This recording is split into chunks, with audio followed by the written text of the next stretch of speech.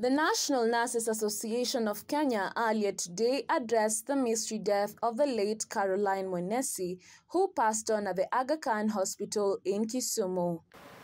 It is with deep sorrow that the National Nurses Association of Kenya calls you here today, not on our usual routine press conference, but to air our anger to the loss of one of our colleagues, Mrs. Caroline Mwenesi.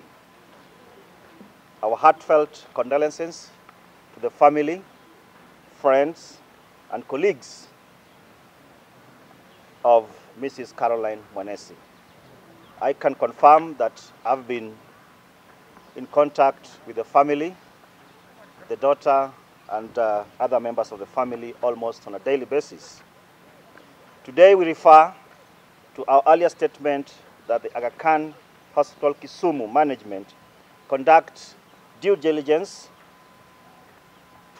a due diligence process on the cause of Mrs. Caroline Mwenesi.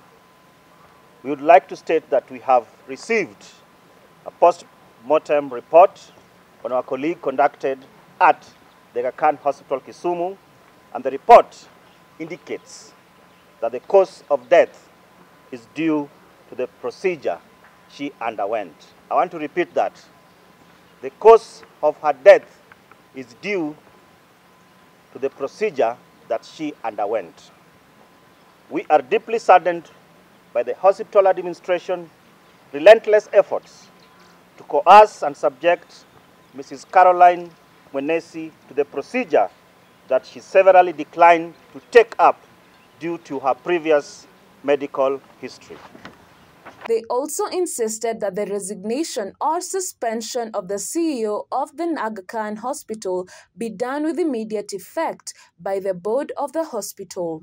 Failure to uphold these demands will therefore push the nurses to attend to global health institutions and push for the blacklisting of the hospital, or at least litigate the same until justice is found for their colleague. We therefore call, which we have done even before, for an official statement from Aga Khan Kisumu man management on the death of Caroline Mwenesi. An official statement. Number two, we also call for the board of Aga Khan University Hospital to, with immediate effect, suspend the CEO, CEO of the Aga Khan Kisumu and open an investigation to mistreatment of healthcare workers and the nurses in that facility.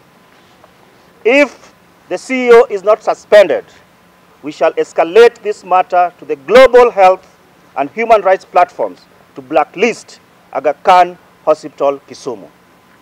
Mr. Alfred Obengo also confirmed that the family of the late Caroline was kept close both with information and support during these hard times.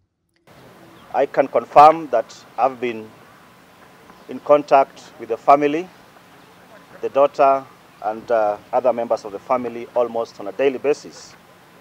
Nurses' rights are also human rights.